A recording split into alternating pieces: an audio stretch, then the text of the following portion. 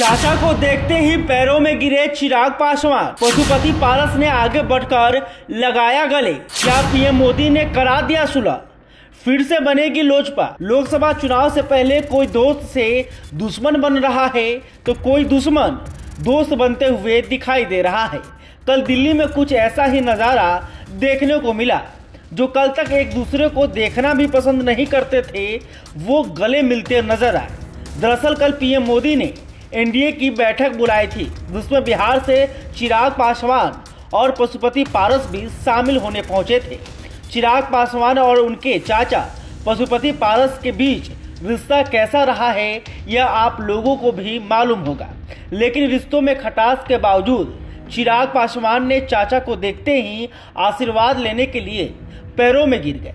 वहीं पशुपति पारस ने आगे बढ़कर चिराग को गले लगा लिया। इस तस्वीर के सामने आने के बाद यह चर्चा तेज हो गई है कि क्या चाचा भतीजा में अब सुलह हो गई है? क्या पीएम मोदी ने दोनों को अब साथ ला दिया है? क्योंकि इस दौरान पीएम मोदी भी वहाँ मौजूद थे। क्या अब एक बार फिर से लोजपा बनने जा रही है? क्या रालोजपा और लोजपा रामविलास का विलय हो जाएगा? हाजीपुर से क्या पारस ही चुनाव लड़ेंगे?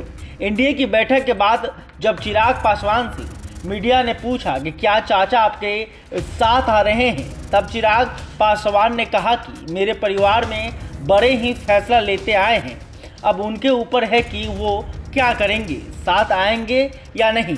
वहीं बड़ी सियासी चर्चा इस बात की भी हो रही है कि रामविलास की लोजपा को जो टूट कर दो बटों में बट चुकी है, अब फिर से एक हो जाएगी और बीजेपी भी यही चाहती है। बीते दिनों गृह राज्य मंत्री नित्यानंद राय ने पारस से मिलकर यही प्रस्ताव सामने रखा था कि अब दोनों गुट एक हो जाए, जिस पर नाना करते अब पारस सुलह के मूड में आते दिख रहे हैं। दरअसल 2024 से पहले भाजपा की नज़र सभी छोटी बड़ी पार्टियों को एक करने पर है। एलजेपी के दोनों गुट एनडीए में शामिल, एक अहम दल हैं और फ़िलहाल चाचा भतीजे की लड़ाई से जूझ रहा है।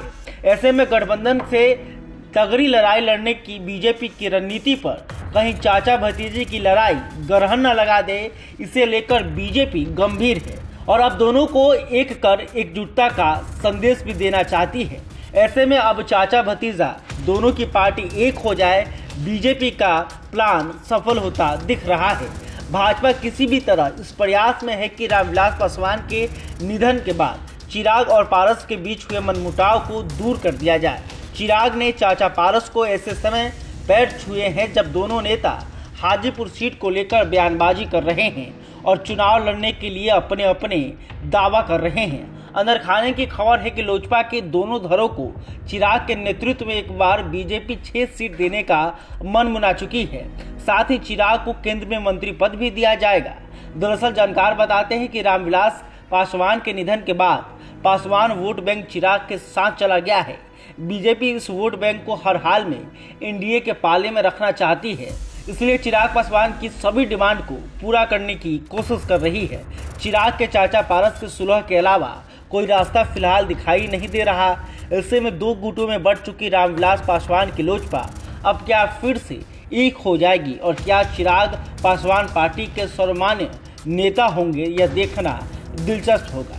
बहरहाल, अब तक आपने हमारे चैनल को सब्सक्राइब नहीं किया तुरंत कल इस खबर को लेकर आप क्या सोचते हैं, कमेंट करके बता सकते हैं। वीडियो फेसबुक पर देख रहे हैं तो हमारे पेज को भी लाइक कर लें। बहुत बहुत धन्यवाद।